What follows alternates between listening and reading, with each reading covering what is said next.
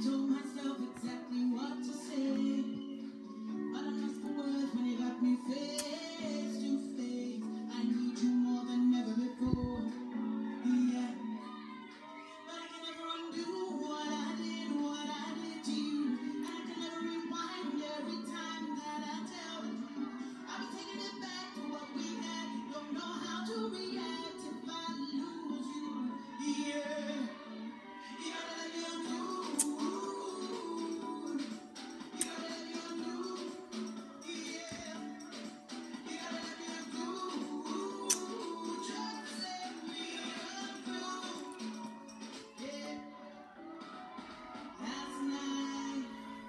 We hit the end for the last time.